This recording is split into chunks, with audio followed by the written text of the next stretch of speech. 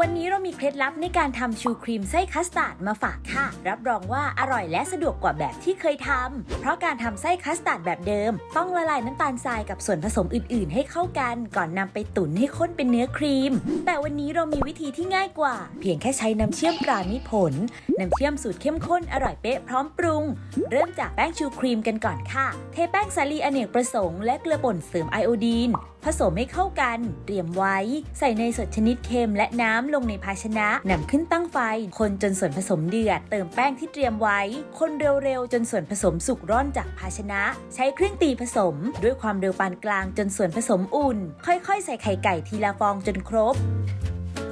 ลดความเร็วลงต่ำ ใส่ผงฟู ตีจนส่วนผสมเข้ากันดีแล้วปิดเครื่อง บีบแป้งชูครีมลงบนถาดนำเข้าอบที่อุณหภูมิ 400 องศาฟาเรนไฮต์ประมาณ 20-25 นาที เตรียมไว้ วิธีทำไส้คัสตาร์ด เริ่มจากใส่ไข่ไก่ลงในภาชนะตุน๋นตามด้วยแป้งข้าวโพด และเกลือป่นเสริมไอโอดีน คนผสมให้เข้ากัน เติมนมข้นจืดและน้ำเชื่อมตรามิตรผล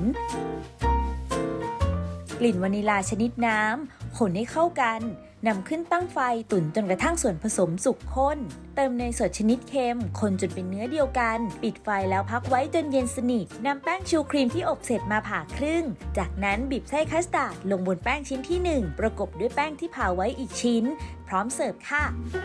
เพียงเท่านี้ก็จะได้ชูครีมไส้คัสตาร์ดที่เนียนนุ่มหวานอร่อยน่ารับประทานค่ะ